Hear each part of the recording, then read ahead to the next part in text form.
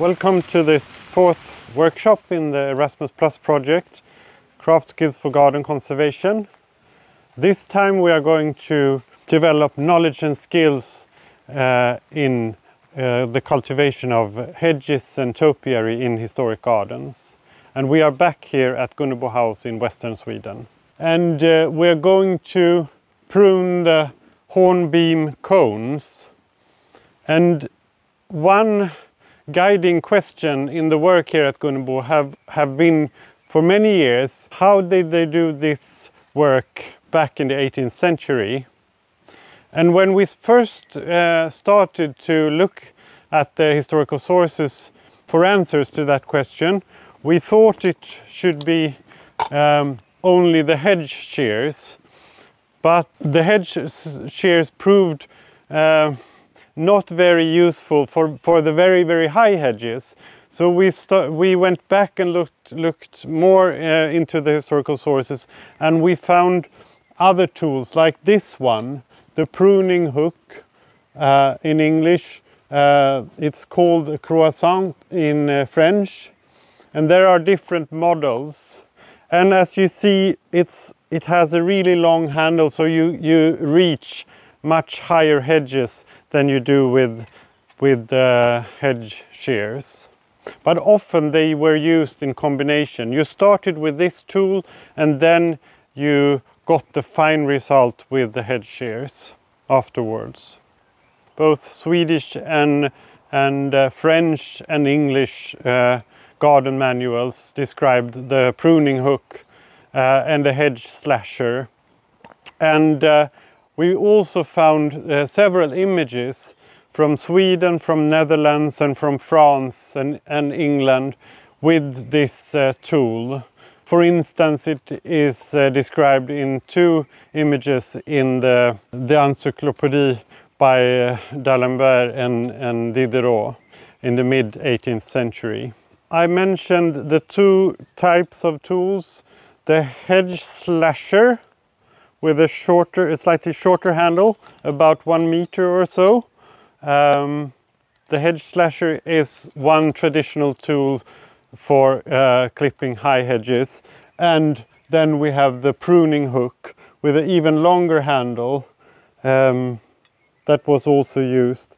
And we don't really know uh, which one was the most common in Sweden. They have both existed and been used in, in historic gardens in Sweden, but we don't know uh, which model was the most common. As always when you trim or, or uh, clip hedges, uh, you rely on the previous year's cutting. So the quality of the, the clipping last year uh, is uh, the support that you get this year. So you don't work with, we don't use any templates or string as a support to, to create this shape. We try to find where did we where did we clip this last year we can see the new growth here and the old clipping here. So yes, last year we clipped this hornbeam here and now we're going to, to get back to that position. So you get some support from, from the previous year's clipping when you do this work. When we began trying to, to practice with this tool, we, we used it from above and it was quite heavy to stop the movement and not hitting into your leg or into the ground. Uh, so you had to use some power to stop the movement. We found uh, historical descriptions that the tool should be used from below upwards. So it's much more convenient because then you the movement and the power, it fades out above your shoulder.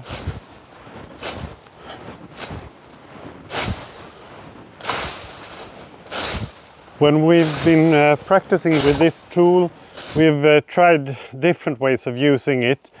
Um, and one, one way of using it that I find uh, very good is an ergonomic is to use it in a kind of a pendulum pendular movement. It's pushing pushing down with this hand and pulling up with that hand. So it's like that. It's not. It's much more heavy when you when you keep the tool like this uh, on a long handle.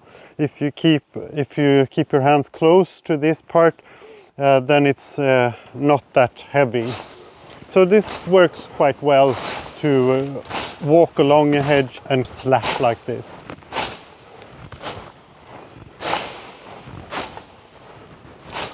Now I'm going to try the hedge slasher um, in addition to the pruning hook. Personally, I, I, really like this tool. It feels a bit different from uh, the pruning hook to use this. I think uh, I compare this more to using an axe. Perhaps you even can see that I'm using a bit more power uh, with this tool. It's heavier, it has a thicker handle, uh, thick steel, it's kind of a heavy axe-like tool.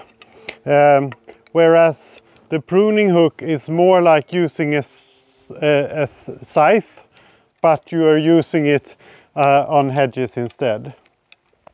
So this is uh, kind of heavy work, but I, I like this one and I feel that I have control over uh, the shape that I'm creating with this, with this tool. And obviously it's not that long the handle so you don't reach as far. You have to have uh, a ladder or a scaffold to work on uh, to, to do the really high hedges as well.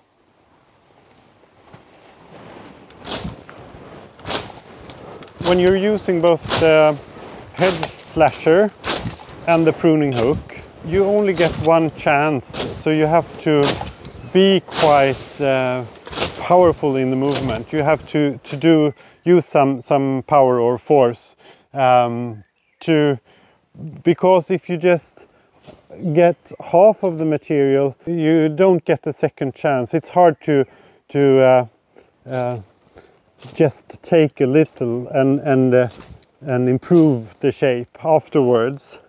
So you get one chance. You have to look at the material that you're cutting as well um, to find uh, the right angle. It's uh, like basic principles from uh, handicraft or slöjd.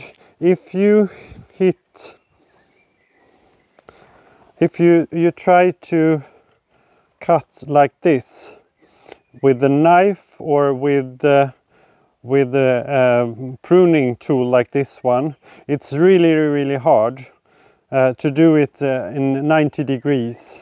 You can do it with a scissor or with a hedging shear, but uh, with a hedge shear, but um, it's really hard with a knife or with a, a hedge slasher or pruning hook to, to cut like this.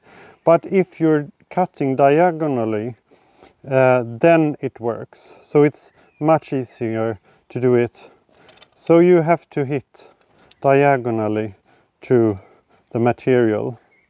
Um, then it, it works. It doesn't really work when I show now here with this short piece, but, but uh, um, Di working diagonally is, is the way to do it. The basic principle is working diagonally uh, because then you can cut the material.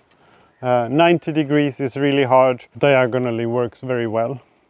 And regarding the result with uh, both the pruning hook and the hedge slasher, uh, I would say that uh, the result is not technically perfect and it can um, be uh, because of uh, my uh, lack of skill or it can has, uh, have to do with, with the tools. We find the, the tool, these tools quite time efficient. Uh, so you can work, you can do a, a large hedge in, in uh, quite quickly with these tools. So they are time efficient, but they are not very accurate. They, they don't give you the perf technical perfection that modern power tools do.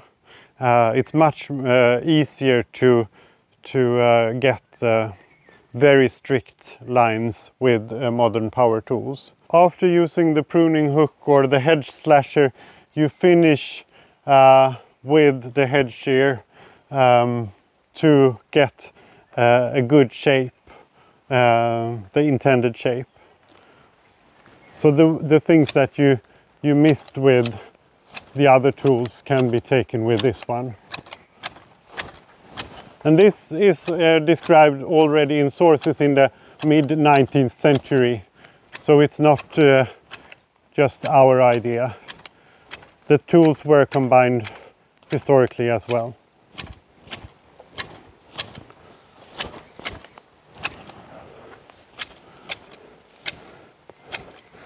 Here it's just uh, looking for the inaccuracies and how to improve the shape to get as, as strict shape as possible. And with this tool, as you can see, I'm working 90 degrees towards the material and it works because I have the scissor function with two blades going against each other. The largest difference I would say it's you have the the technical perfection with modern power tools and it's um, another way of working with your body as well because you are working with the power tools you are using the body in a much more statical way. This is much more dynamic. You can use it downwards sideways upwards. You can use it with short handles or with long handles. So you can use the the tool in many different ways and you use your body in a dynamic way with the traditional tools.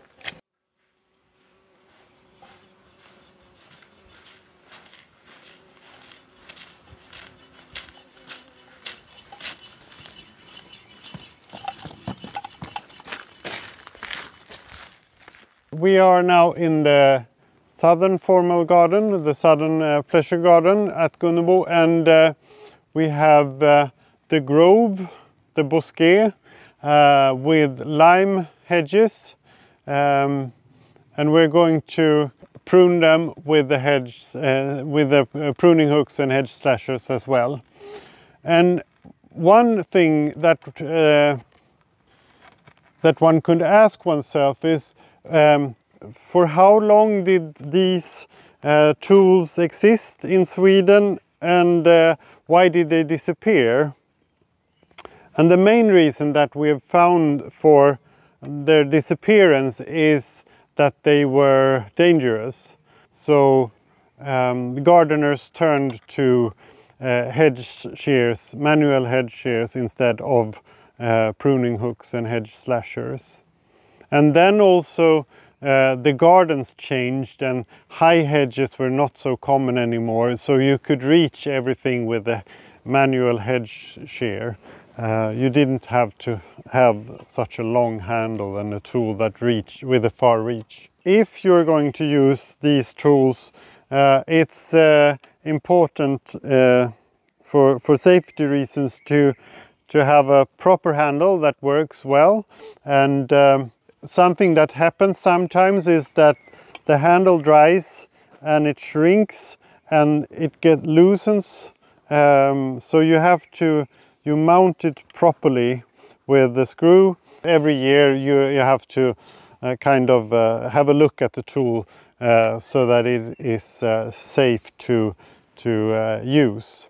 And then of course you have to, you have to have control uh, when you're using it.